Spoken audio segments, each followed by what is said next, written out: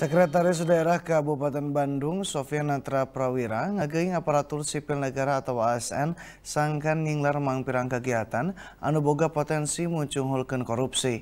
Dirina pepeja ka sakumna ASN anu boga karep nyalimpangkeun waragad pikeun sagencangna mupus eta rancang tul ngabolaikeun eta paniatan. Reana aparatur sipil negara atau ASN anu jadi tersangka OTT ku KPK ngabalukarkan sakumna pihak ngerasa kesel karena lampah panyalimpangan waragad salah saijina sekda Kabupaten Bandung.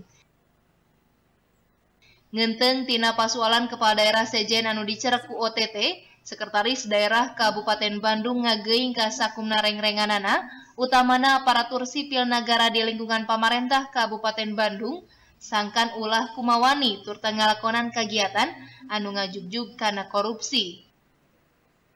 Diri nanandaskeun upama katohian ASN di wilayah Kabupaten Bandung anu ngalakonan korupsi, pihakna bakal nindak kalawan tandes eta ASN. Kali terakhir dengan Pak Inspektur ya, pernah diingatkan oleh KPK Jawa Barat bahwa uh, semua pekerjaan yang uh, terjadi kesalahan di SKPD di semua lini ini uh, harus segera dihentikan. Jadi ini kalau ada yang dirasakan oleh masing-masing SKPD, ini hentikan karena kami akan menindak.